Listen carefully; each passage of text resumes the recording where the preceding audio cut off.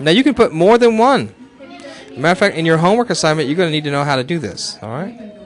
So you can actually put multiple types in, a, in or multiple variables in a function, and we've seen that in PHP. And he's got an example where he's just going to do some simple multiplication. So he's got a class he called multiply. So that's the first class, and here's the ending bracket of that class, and everything he sticks inside of that has to have uh, curl has to be well formed, right? Matching curly brackets. And so this one right here, it's a very simple method, just public static void. Why am I using void here? Have any idea? We're not returning anything. I'm just running the function. I'm sending it right to the print output. Now I'm to we're going to get to return types in a moment, and it will return something. So this won't be void anymore. So void means there's no return type. Okay, I'm not returning anything. I'm just sending this right to the uh, the, the the console. Okay, since I'm not returning it to the program. Okay, so I'm just going to call a double A and a double B, and whatever I put in for A and B it's going to multiply. That's all there is to it. So in the main function, it's going to run whatever I put in the method. I called it times, and so I just go times 2, 2. And what would be the answer for that? Absolutely. And that will be? Oh, really? Okay. I know I'm doing this to you. You're going to go, this guy's a nut. Here's next is uh, times 3 times 4? Huh? Okay. And that'll be what, 12? Okay, so whenever it sees that times, it's going to run that method, and it's just sticking those numbers in for the A and B, and it runs it. That's all there is to it. Okay, got that. Okay, let's take a look at that Eclipse, because I have actually have written that in Eclipse. So if you go to multiply real quick here and bring that up, and and there it is right there. So let's just run it. Oh, I got 4 and 12. But what if I wanted to run something else? Well, all I have to do is put a new number in there, right? Just I'm going to copy this. Or actually, uh, hold your Control Alt uh, arrow down. And when you do that, it automatically gives you copy. What do you want to multiply? What times what? Okay, 5 times 7. So put that in there, and it's just going to call that method once again, stick those numbers in there, and does do the multiplication for you. And there you hit that. And that's 35. There you go. That's all there is to it. Got it? Great. Good, good, good. So that's all there really is to it. I mean, that methods are really easy. You've seen them before, and you're seeing them again here.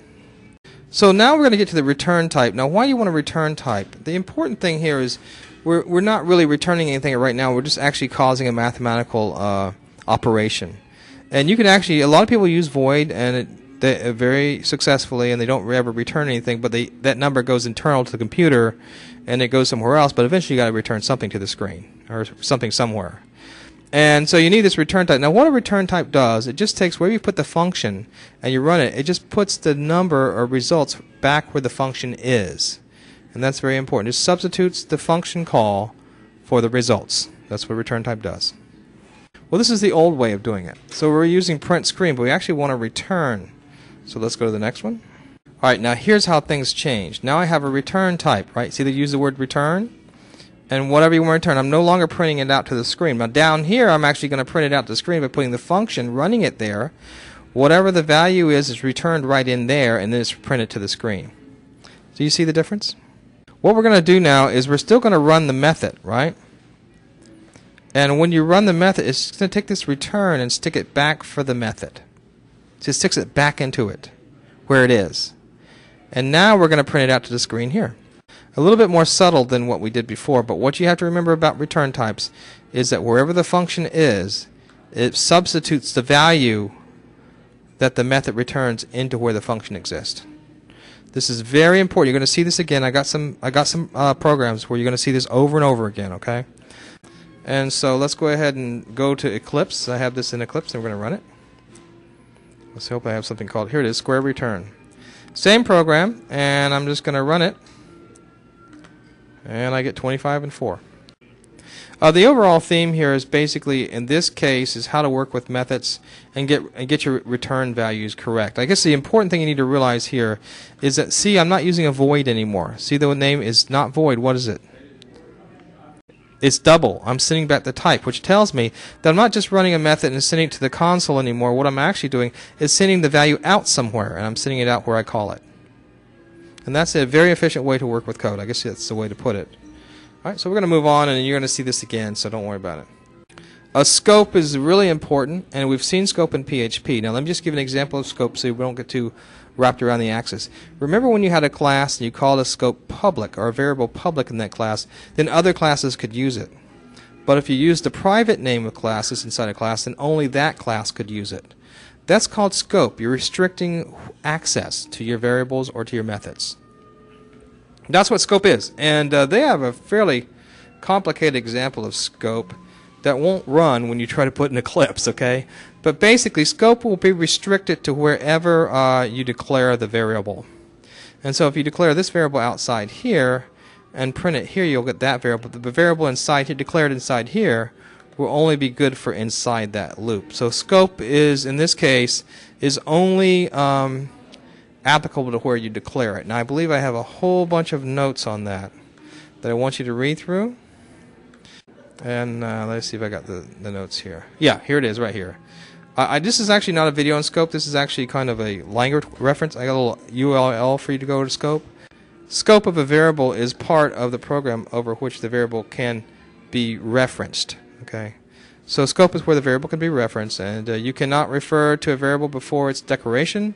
Uh, you can declare a variable in several different places. Okay, uh, in a class body, as a class fields, variables declared here are referenced to as class level variables. And then if you put them in the constructor, they're only allowed in the constructor. In the body, they're only allowed in the body. In an if statement or in a statement, they're only allowed in the statement. But what's important to us when you start building classes is that whole protected and private and public uh, variable names, which allow uh, variables to be shared between classes or to be restricted and only be allowed within a certain class. And you've seen that before, and that's my quickie on scope. Take a look at the HTML article, okay? And you'll be using scope as we build more and more classes in Java. Just an introduction here to it. It's not going to be the most important theme that you get today. Okay, building blocks in uh, Java. I don't really like this part of the lecture because he seems to lead you to the idea that methods are the building blocks for uh, Java programs and that they're reusable. And yes, in a sense, yes, but it's not methods that are the building blocks, it's classes that are building blocks. And as we discussed in PHP, as you when you build a class, it's reusable. And so you can have a huge class, you may not have wrote it, it may be thousands of lines, but you can bring that class over into your Java system and use it. Now maybe that class doesn't quite do what you want, but there's a wonderful thing called override. And so you can override methods in that class and make them do what you want. So the great thing about Java is there's already been a huge amount of code out there written in Java that you'll have access to, okay? And that you can use to help you build your systems with. And so one of your things want to be as a smart Java programmer is try not to write everything from scratch. Go out there and see if it's already been written. Yeah, then have the skills to work with the object-oriented program so that you can go in and modify the classes, you know, override uh, methods and get it working the way you need to. And that's the skill you really need. I mean, because there's just too much out there. You can't write anything from scratch. You can't live enough lifetimes to do that. Grab classes written by someone else, modify them, and get them running the way you do. And that's the way successful programmers do it. Okay, so uh, yes, methods are very important, but classes are made up of methods, and classes are what are the building blocks of Java. Okay, so just a correction on that slide right there.